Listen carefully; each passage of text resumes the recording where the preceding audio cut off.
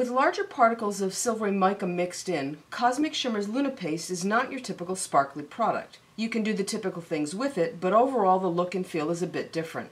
In today's video, I'll show you some simple ways to incorporate Luna Paste into your creative projects. As of January 2019, Luna Paste is a new product here at Joggles and we're offering it at an introductory special of 25% off. Right now there are 10 colors available via the US distributor and they're packaged in these 50 milligram jars and you can see that it's just, well I've used this so it's not quite as full as it was, but they're pretty much full right up to the shoulder of that bottle. With the exception of the color named Moonlight Gold, which is what that is, each color features the paste itself, whatever color that is, and what look like silver flakes of mica. Moonlight Gold is the one that has gold flakes of mica instead. So because mica is not glitter, Luna paste gives you that overall shimmery look, but it's not a sparkly one like you'd get with glitter or something that a paste that had glitter in it. The paste is thick enough to be dimensional and it'll hold in whatever way you apply it. So if you scrape it through a stencil and it's thick enough, you'll see a nice crisp impression filled with color and glimmer. And if there's some height, it will dry that way and it will stay dried that way. So this stuff is permanent when it's dry. You don't want to leave it on your tools because if you do, you'll have a tool with lots of color and mica on it, but maybe it doesn't work so well anymore. So I've done multiple colors through here, and I did multiple colors through white. So you can see the colors on here. With the glare it can be a little bit hard, but you can see the colors on there. You can see that very interesting mica effect that you get. So let's just bring in a stencil. I'll show you how simple this is. This is one of our 5x7 index cards. This stencil is called Flowers Squared. Now I'm not going to pull the paste through the entire thing. It's really not necessary to cover it. All I want to do is show you how this is. So it's a paste, as you can see here, thicker than gel medium or anything along those lines, but not as thick as, for example, texture paste. So I'm just going to, oops, there's something on that stencil. I'm just going to take a, a, a chunk out on my palette knife and then go ahead and scrape it along. I took out more than I probably needed, but nevertheless, we'll just fill this all in here.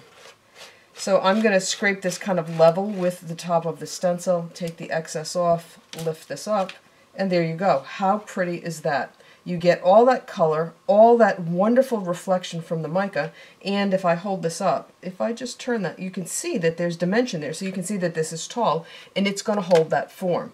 So let me bring in a piece of white, excuse me, a piece of black now. I'm going to lay this back down.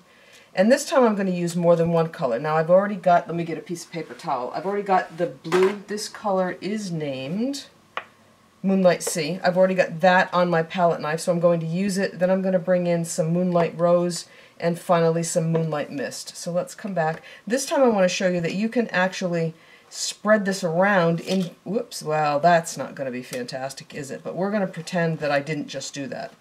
So I'm going to spread this around, but then I'm going to come back with other colors and I'm going to mix. I am going to wipe my palette knife off in between just because I don't want to mix the colors or inadvertently introduce one color into a jar or another color into a jar when I go to grab some. So again, I can just kind of spread this out you can see that I've got that kind of striation of color going on. Nothing says that you have to do this blocky. If you want to blend it around a little bit, you can.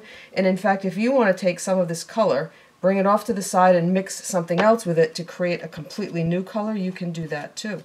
So that's how simple it is to bring in multiple colors like this. Let's just grab a little bit more of the mist, which is that pretty lavender color and just kind of scrape it even again with the top of the stencil. Take all the excess off my palette knife. And then let's slide that out of the way. And then I'll lift this up. Now again, I slipped with the stencil when I first was putting that on. So we'll ignore the boo-boos here and just look at how pretty this is. It's a little hard for me to get it reflecting really well for you. But you can see how dramatic the look is on black. Although certainly the white is nothing to be sneezed at either. Putting Luna Paste through a stencil is not the extent of what you can do with it. You can, for example, randomly scrape it on a surface to apply some color and glimmer. If you look at this, this is a 5x7 index card. Now everything that's on here, bar the Luna Paste, was printed on a gel, gel press plate. And where there is more of that purple color, I used the Moonlight Mist Luna Paste, and I just randomly scraped some up along the edge, and you can see that it got really thin along here. So there's ways to add highlight and color and glimmer using the Luna Paste, and it doesn't have to necessarily be as overwhelmingly strong as something like this. So for example, if I bring in, this is just one of our number eight tags, if I bring that tag in, and let's grab, well, let's grab some of the pink. So this is the Moonlight Rose. If I want to just very lightly scrape some color on, all I need to do, again, with this kind of thick version of this paste, I have the opportunity to just pick up a little tiny bit and if I want to add just a little bit here and there just with a really light touch it's super easy to do. I mean that's it and I've added just a little bit of color and glimmer. Nothing says that this has to be completely in your face. Ideally you do whatever appeals to you and you go with it. So again, just a little bit of color, a little bit of glimmer, well, a little bit because there's a lot of glimmer in there, but I haven't put a ton on there, but you get this really nice effect. All right, let's clean that knife off. Now, this is water-based product, so with that said, you can thin it with water, and in fact, I'm going to take some of the Moonlight Sea. I'm going to put just a little bit down on my nonstick craft sheet. I'm not going to use too much and I'm going to thin it with some water and you'll see that you can brush it on for an entirely different look. Alright, so let me grab my brush and some water and I'm just going to start to thin this out a little bit. Probably bring in a palette knife that's wet and that will make this go a little bit quicker. So I can thin this as much or as little as I want. It's really just a matter of preference. So if I bring in just a little bit more of the water, and continue to work this around. Now I can bring in, this is a page from one of our disc-bound journals, and I can just very lightly brush this on. Again, it becomes a question of, well, how much do you want to use? This just gives you a slightly different look than what you would get if you continue to apply the Luna paste with a palette knife like I did a moment ago. So this tends to be a little bit more subtle because the glimmer flakes, the, excuse me, the mica flakes that provide the glimmer kind of get spread out a little bit more. So there's another option. I'm just going to put my brush in some water so that the paste doesn't dry in it and ruin it. Let me grab another piece of paper towel and then I want to show you how you can now combine things. So for example, if I take a water-based product like Cosmic Shimmer Pixie Powder, which is activated with water, and I take some Luna paste and put it down, I'll show you how you can kind of mix this up. So let's come in with some of this. And I'm just going to scrape on a really light coat, just kind of here and there. This is a page from our disc-bound butterfly journal. Now again, I'm not making great art. All I'm trying to do is show you ways to utilize the product.